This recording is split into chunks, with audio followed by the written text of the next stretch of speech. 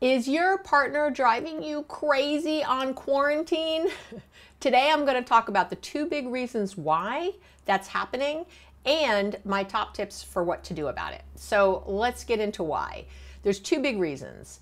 One is that your bandwidth is low because of all that's happening in the world. So we have here in the United States, we have demonstrations right now.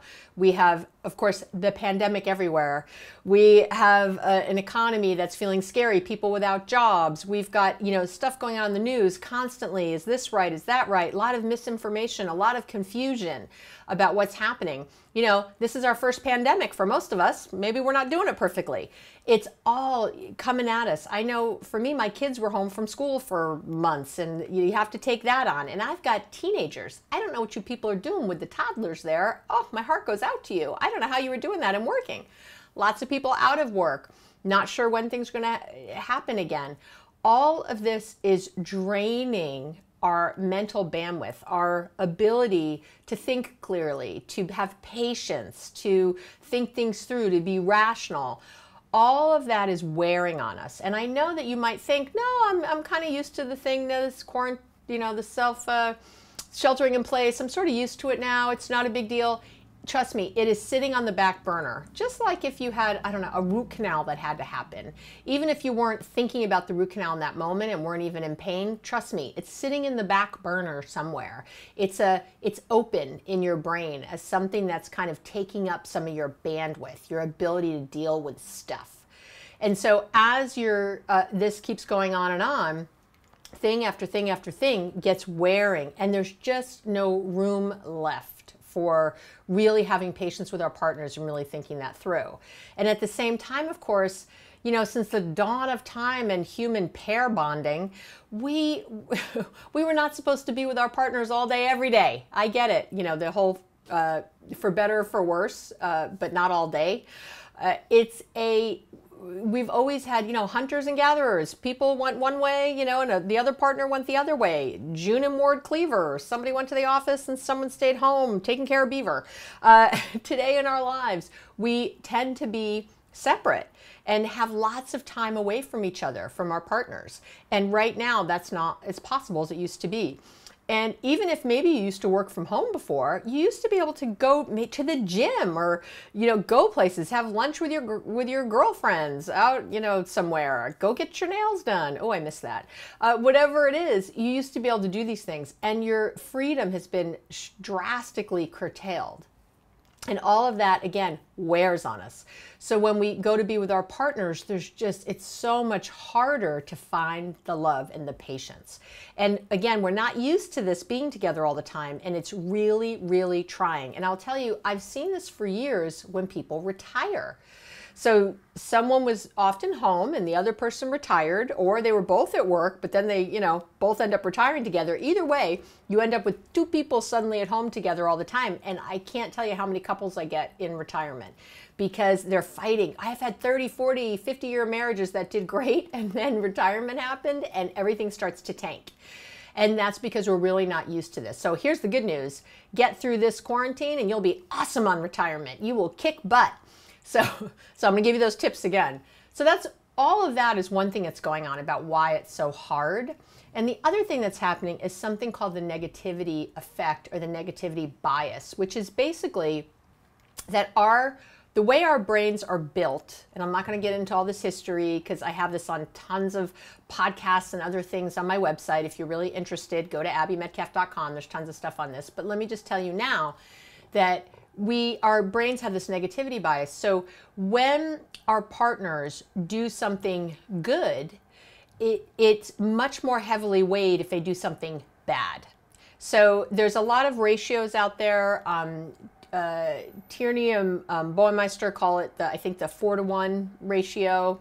Uh, so for every four negative things that happen or bad stuff in your environment, for every one positive thing that happens, they sort of cancel each other uh, I'm sorry, for every four uh, positive things that happen, if just one negative thing happens, it cancels it out. Uh, Barbara Fredrickson for years has talked about a three to one ratio. Again, for every three positive things that happen, one negative cancels it out. Uh, and then, of course, uh, marriage researcher, guru Dr. John Gottman talks about a five to one ratio, which, uh, so literally for every five great things your partner does, every time they say they appreciate something and they love you and you look, your ass looks great in those jeans and everything else, for every one thing you do that's not cool, it it skew it weighs it out. Like you you didn't get any money in the bank for all those five things. Now I know it seems unfair, but it, it's true, and I think the ratio is higher for partnerships because we have higher expectations of those people that we love, you know, that are supposed to have our back, are supposed to be our teammates. Now, at this, so one of the things that I want to get right into with you when we talk about uh, the tips is related to this, which is that I, most people try to focus on the po- doing positives for their partner. And I have to tell you, that's great. But really, what you want to do is avoid doing the bad stuff. That's what you really want to do because those are the things that really uh, undermine a partnership. So, for example, I had someone, it was a while ago now because we've been on uh, quarantine for a while, but I had a man in my office who literally during our session said to me, "Oh my gosh, it was my it was my wife's birthday yesterday and I forgot." He realized he'd forgotten. He was on a business trip. Uh, he had just gotten back uh, that day actually, and I was meeting with him. And he he said, "Oh, I'll make it up to her. It's all good. You know, I'm going to do something really big for her next week." And I was like, "Sweetie, that ain't going to work." So, and we do this all the time. We think we're going to make up for something bad.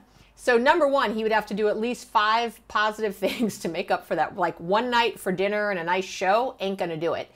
But worse, again, negative things carry more weight. We remember them longer. We they carry more weight in our brain. We think of them, our emotions are more tied to them, and they they really have a bigger impact than positive ones do. So the biggest thing I can tell you right now is don't over promise. Don't if you make a promise to your partner, if you say you're to take out the trash or walk the dog or whatever, friggin' do it. Do it. Don't say you're going to do something if you're not going to do it because that's the worst thing.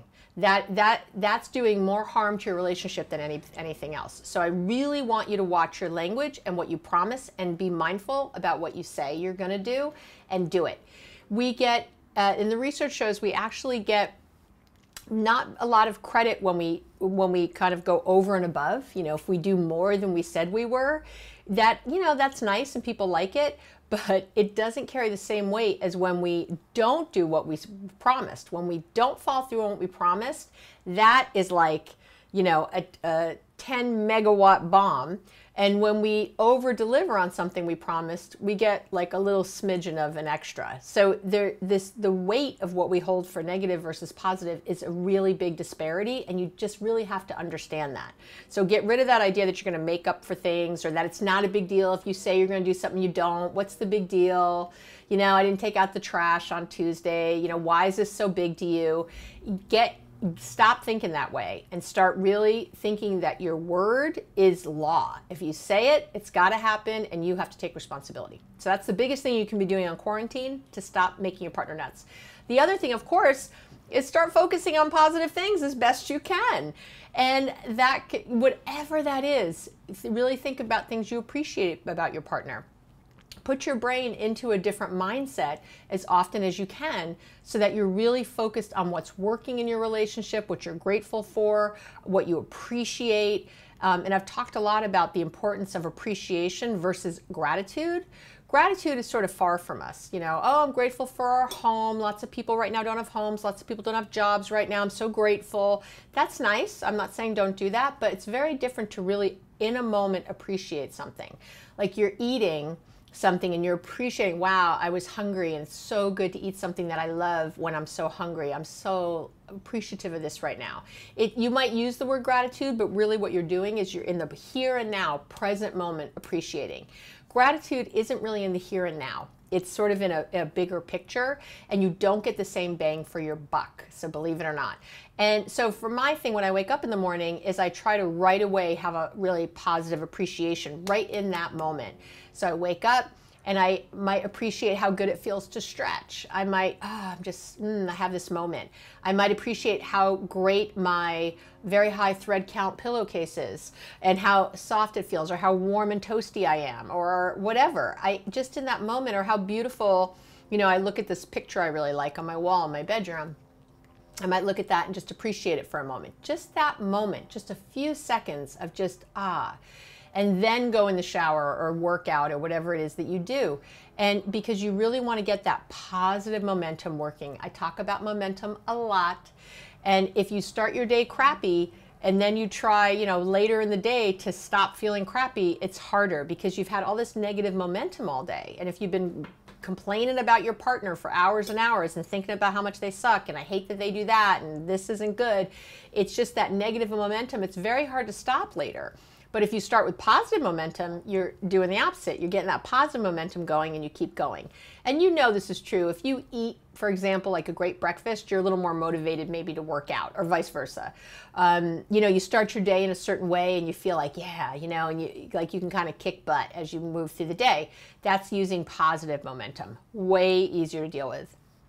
The other thing I want you to know is I'm going to say two more things. One is don't make any major decisions about your relationship during this time. This is not the time to be wondering should I stay with this person, should I not? Ugh, our relationship isn't isn't you know is irreparable. Um, whatever. Don't. This is not now. This isn't. This is a very small microcosm right this minute of something else. And like I said earlier, we really don't have the bandwidth the way we think we do to think through things like our relationship. So just don't judge it right now. Don't put a lot of time and effort into, you know, oh, you know, the sky is falling. Just address it after after we're out of all this after things have gotten a little more back to normal you can then make some decisions about how you'd like to handle it doesn't mean you couldn't go to therapy right now in quarantine or anything else but really don't uh, get too caught up in negativity about your relationship right this moment because you're not thinking clearly believe it or not and this last piece is really whenever you're focused on your partner, look at yourself. Look at yourself. Every time you think, oh, I can't believe he does that, or oh, what is she thinking, or oh, he drives me crazy. What, every time you do that, stop and think, what am I doing? What, where am I at right now? And I really want you to check one of the things that I do is I check what I call sort of my emotional vibration. Like, what's my predominant emotion right now? Right now as you're listening, think to yourself, what's my predominant emotion right this minute as I'm listening to Abby gab away? What am I, am I mostly anxious? Am I happy? Am I content? Am I overwhelmed? Am I uh, feeling impatient? Like, why isn't she shutting up yet? I, have I've got the point. Let's move on. you know, what's that overwhelming vibration? What's that over, yeah, that top emotion that you're having? Because trust me, that's what your partner is picking up on most of the time. So you know, check yourself before you wreck yourself kind of thing. Come back to you. You cannot control your partner. Trust me, I have tried. My man will tell you, I do try to control him. It does not work. Uh, you can only control yourself and your reactions to things. So it's really more important than ever that you check in with what you're doing. Every time you look at your partner, think about what you could do. What can I do to make this better? How do I have to be?